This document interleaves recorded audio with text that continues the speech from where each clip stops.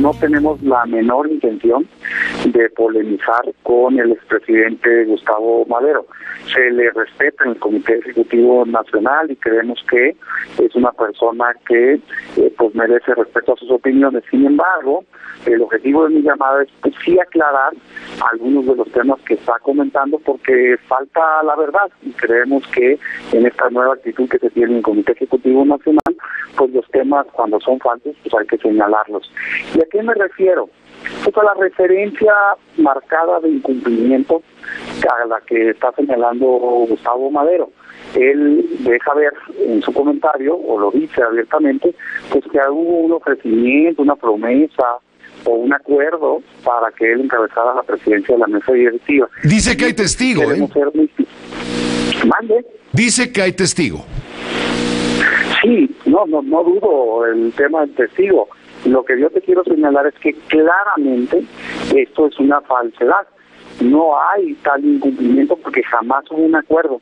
Y déjame hacer memoria de la época en la que él se está refiriendo, porque creo que la memoria suya en este momento está siendo selectiva. Hace un año, recordemos el momento lo que sucedió, en efecto, previo al nombramiento del coordinador se estuvieron explorando diferentes escenarios en diversas pláticas. Sin embargo, jamás se cerró un acuerdo entre las partes y tan eso así que no hubo un acuerdo formal entre las partes, ni verbal, ni de ningún tipo, que desgraciadamente es público el desencuentro que generó en aquel momento el nombramiento del coordinador parlamentario.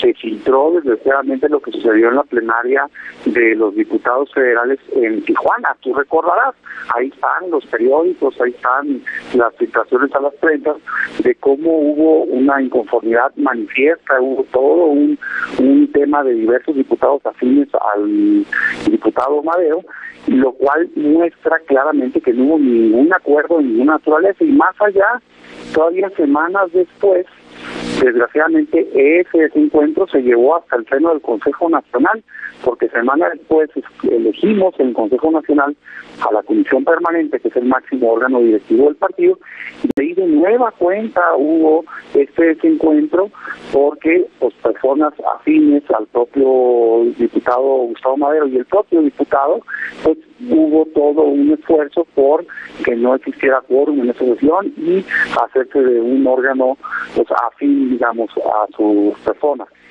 Eso pues muestra claramente cómo no hubo un acuerdo en ese momento, por lo que si no hay un acuerdo, pues no puede haber un incumplimiento. Y me pena mucho tenerlo que decir, pero sí creemos que la ciudadanía merece pues escuchar la verdad. Y más allá, si revisamos las entrevistas de las últimas semanas del diputado federal Gustavo Madero, pues te vas a encontrar que él mismo reconocía que había varias posibilidades de presidir la mesa directiva y señalaba su respeto a los otros perfiles y por supuesto siempre señalaba el respeto que tendría a la decisión que se toma. Decirte que el Partido Acción Nacional, esta dirigencia, ha estado enfocada desde que tomó, desde que se logró ganar esa elección y tomar protesta, en tomar las mejores decisiones para el futuro, primero de México, luego del PAN, y por supuesto que es válido tener proyectos personales de cada una de las personas, pero para nosotros están después del partido y por supuesto del país. Entonces, ¿tú consideras que la reacción de Gustavo Madero es, es digamos, expresión de su derecho de pataleo? No, yo no lo veo así, de verdad, y reitero, no queremos polemizar, simplemente aclarar que pues no hay... Es que no quiere polemizar Madero, no quieren polemizar ustedes, pero la polémica está en todos los medios.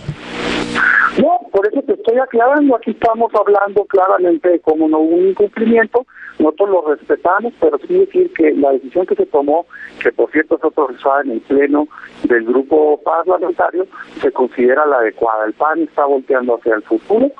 Hoy las decisiones que tomamos en cada momento, todos los días, están en el bien del partido y el México, se consideró que esa era una decisión adecuada.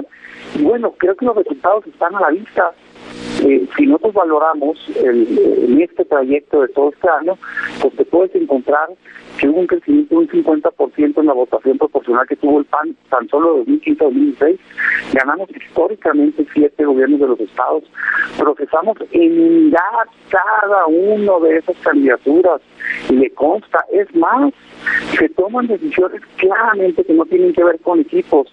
Y quiero poner como ejemplo su estado natal, Chihuahua. Esta dirigencia nacional impulsó que fuera el hoy gobernador electo Javier Corral el candidato, cuando todos sabemos que fue quien compitió contra la dirigencia nacional para el cargo precisamente del Comité Ejecutivo Nacional. Es decir, es una muestra de cómo se han hecho a un lado cualquier tipo de interés particular o de tipo y se hemos puesto en alto el interés del partido y ahí están los resultados. El PAN está más fuerte que nunca. Él ya fue presidente, tomó decisiones, sabe lo que es tomar decisiones difíciles, se le respetó y creemos que hoy es momento de hacer un llamado a la unidad, de respeto a la vida institucional y de ver hacia adelante, porque el partido está en una posición en la cual el ciudadano le ha dado su esperanza de futuro y debemos de cuidar esta posición, darle resultados, ser congruentes entre lo que decimos y lo que hacemos y ver hacia adelante.